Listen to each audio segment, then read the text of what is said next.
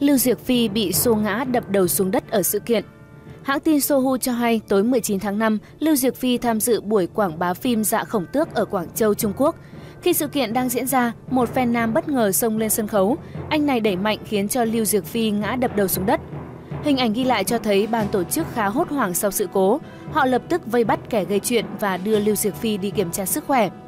Một nhân chứng kể lại, chúng tôi thấy tiếng hét của Lưu Diệc Phi và MC của chương trình, sau đó là tiếng ngã rất to của cô ấy. Thật sự đáng sợ, rất nhiều người hâm mộ đã hoảng hốt. Ngay trong tối, phía ban tổ chức đã đưa ra lời xin lỗi vì sơ suất dẫn đến sự cố đáng tiếc. Họ đã yêu cầu cảnh sát điều tra người đàn ông kia.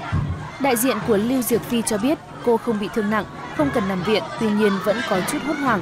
Sự việc này khiến nhiều người đặt ra yêu cầu cần đảm bảo an ninh hơn nữa trong các sự kiện có nghệ sĩ nữ tham gia. Lưu Diệc Phi sinh năm 1987, khởi nghiệp từ khi mới 15 tuổi, nhưng đây cũng là lần đầu tiên cô gặp sự cố này.